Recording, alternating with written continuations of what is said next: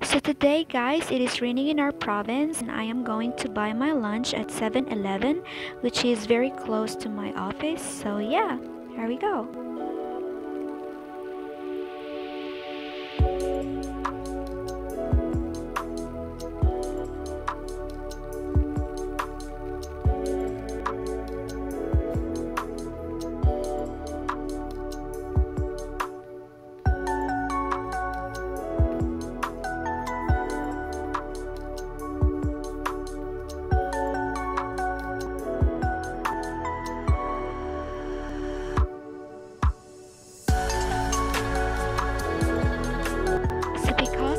Today guys, I decided to have a coffee with me and a cream cheese pimiento.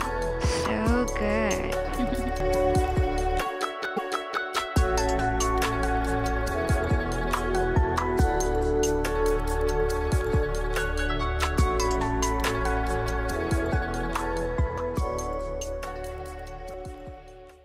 Hi guys, so today I'm gonna share to you my lunch and sorry cause I look a little bit bad. As cause um been working so I got this cream cheese pimiento. And so it looks yummy inside. This is my first time to taste this. And also I got salad macaroni chicken and coffee.